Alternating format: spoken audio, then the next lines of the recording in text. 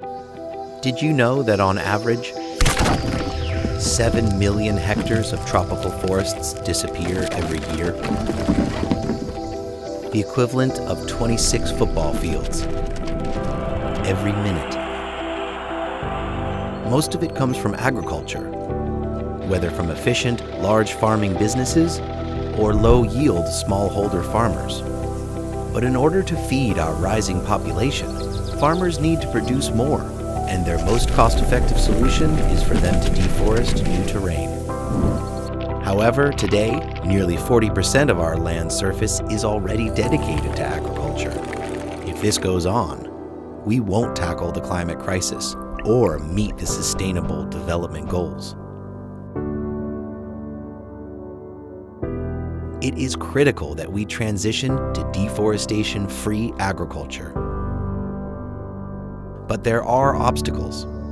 First, farmers need technical knowledge to increase yields and at the same time preserve existing forests.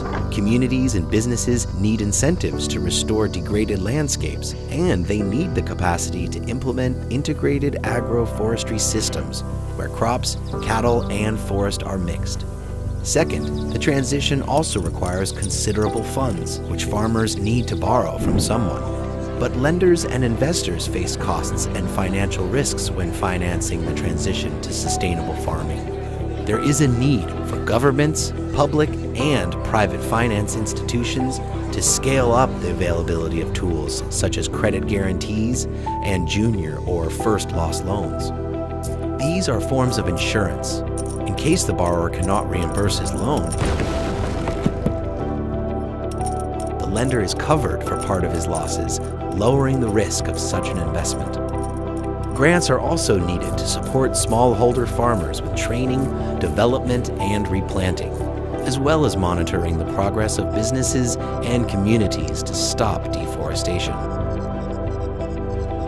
By coordinating the appropriate government, financial, and corporate actors, UN Environment and partners can trigger a transformational shift in leveraging public funding to unlock and scale up private finance flowing to saving forests, restoring landscapes, and transitioning to climate smart agriculture. Let's work together to make this global transformation happen.